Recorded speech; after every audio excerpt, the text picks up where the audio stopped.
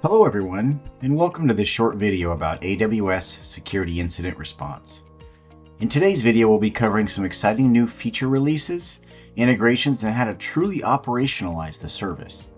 But before we jump in, I want to quickly discuss what AWS Security Incident Response is and the value it can provide your organization. So AWS Security Incident Response is an overlay or an extension of your current SOC team and incident response capabilities. It's an auto triaging system for all of your GuardDuty and some Security Hub findings. It uses our proprietary threat intelligence and advanced tooling under the hood.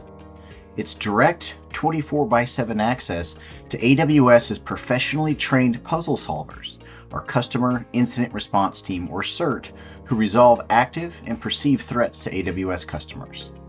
It's a persistent, immutable portal providing your organization a single place to operate and evolve all security incident response activities.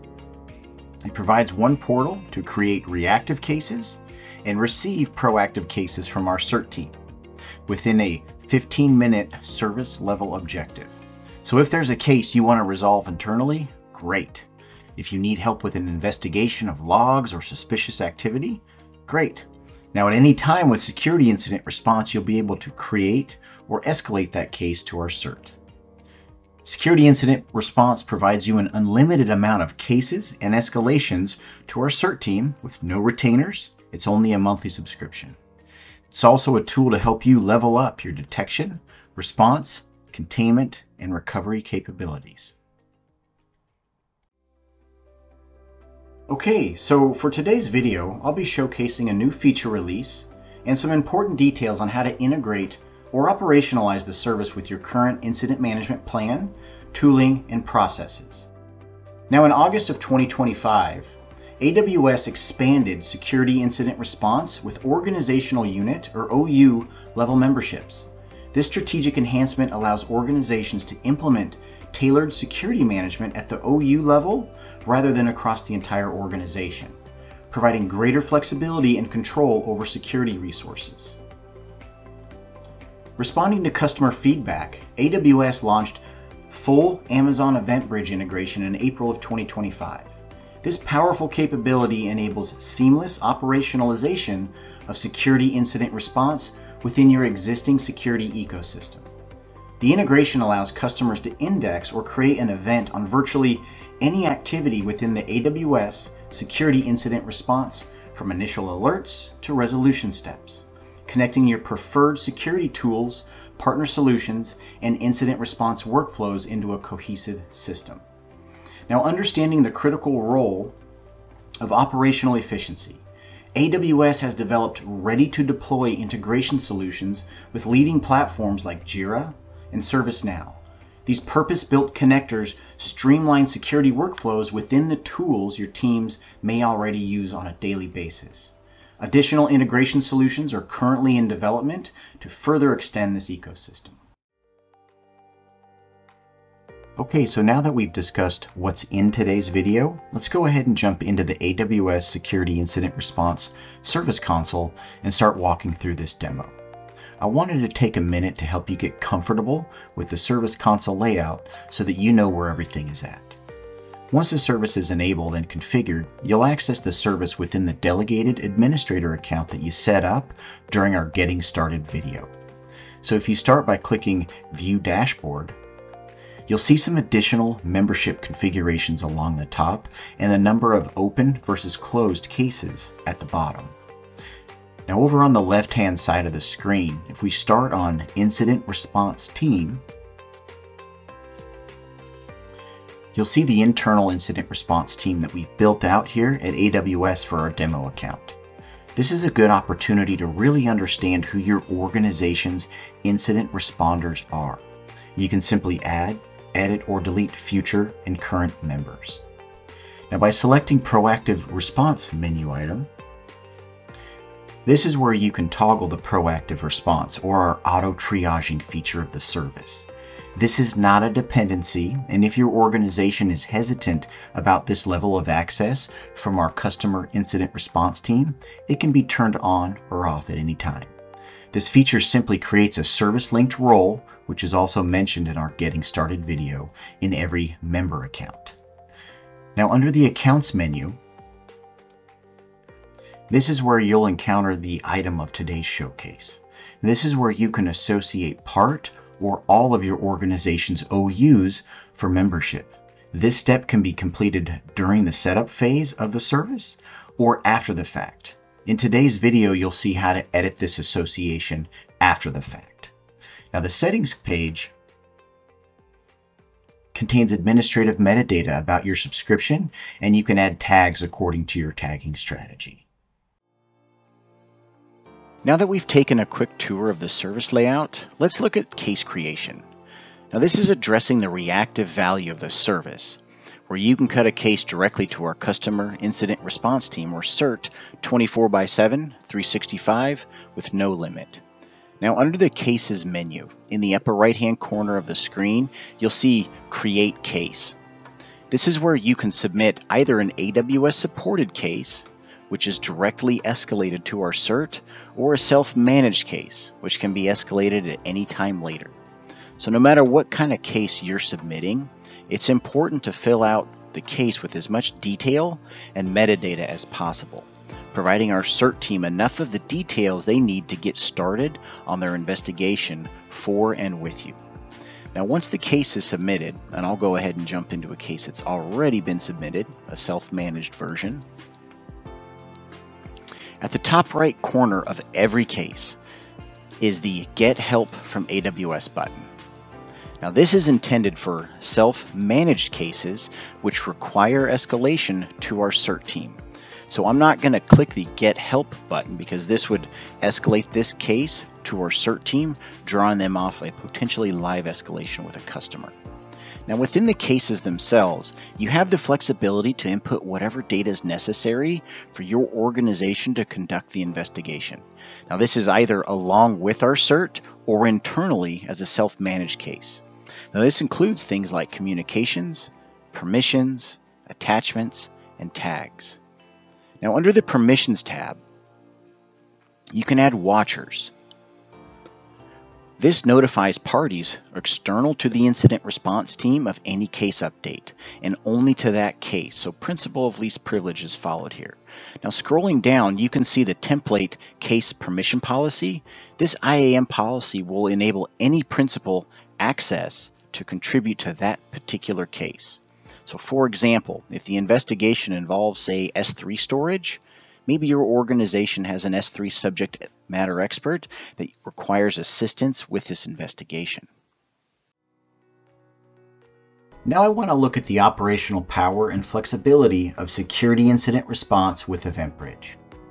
As a quick reminder, Amazon EventBridge is a serverless event bus that simplifies building event-driven applications or architectures in the AWS cloud. It allows you to connect different AWS services, SaaS applications, or your own applications by routing events between them. Now to start building a rule in EventBridge is very simple. I'm on the Amazon EventBridge homepage here. On the left hand side you click Rules, then Create Rule.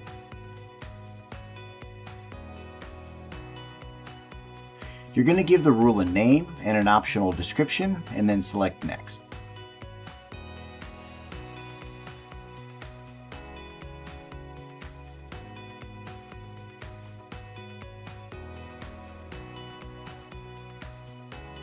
Now leaving the event pattern as use pattern form, hit the drop down arrow and type in AWS Security Incident Response, then select that service.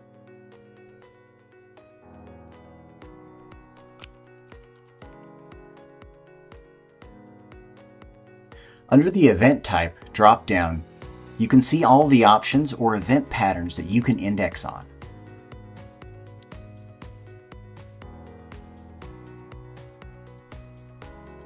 So if I'm going to index and create a pattern based on cases being created, that's how I would do that.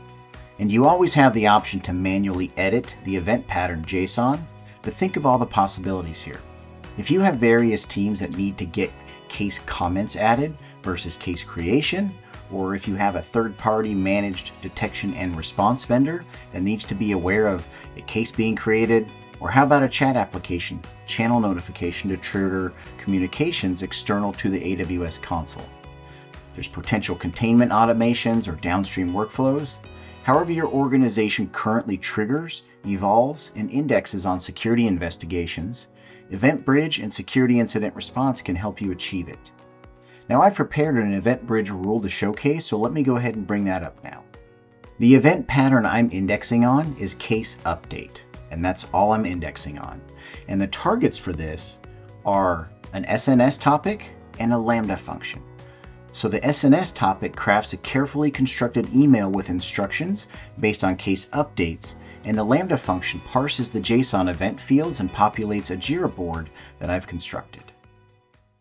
So far we've highlighted the organizational unit level membership and the operational flexibility that EventBridge brings. I'd like to shift the conversation over to some ITSM solutions we've developed at AWS, notably for Jira and ServiceNow. As we've provided the link to this URL in the notes, our developers have crafted a simple to follow set of instructions to deploy a fully tested and fledged solution for deploying Jira or ServiceNow integrations. This solution provides sample integrations for AWS Security Incident Response, and it enables our customers to seamlessly integrate the service with their existing applications for incident response, stakeholder notifications, and case management. I might add that this solution is bidirectional, meaning any update to the Security Incident Response console will reflect in your Jira or ServiceNow ITSM and vice versa. Let me zoom in on the architecture for a bit. Now using a combination of simple notification service, simple queuing service, Lambda functions, and EventBridge rules, this solution helps you respond when it matters most and can help keep your current foundational response mechanisms in place. Lastly, I want to showcase the Jira integration for this demo, and I want to do so by adding a comment and an attachment to a case in our Security Incident Response console, then watching the update occur over in Jira. So here on the screen, we're looking at a Jira board with several tasks on it. Now these tasks, they were added automatically as soon as I deployed this, the solution from GitHub. And I'll go ahead and pick one I've been using to showcase the integration, and it's titled Jira Test Case, Showcase Integration, Ongoing.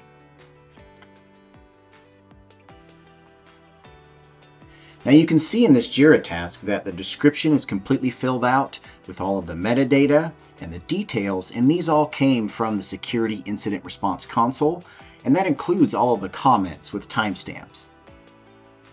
So from here, we'll go ahead and hop back over to the Security Incident Response Command Center.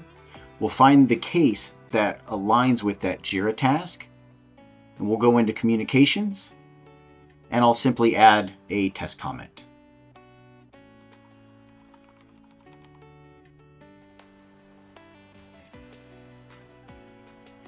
And now I'm going to go ahead and add an attachment. So you go over to the Attachments tab, click Upload. You're going to choose your file,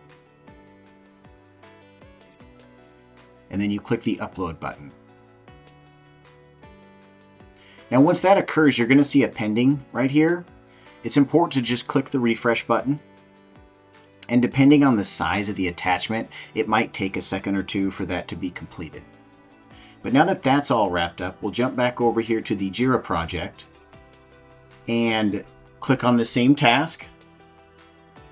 And if we scroll down here, you can see that my test comment that was applied 37 seconds ago has already transferred from security incident response through the architecture over to the JIRA task itself.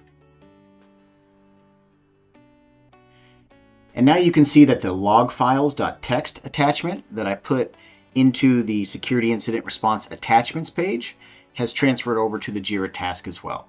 So on a typical day, these updates require no more than 5 to 30 seconds.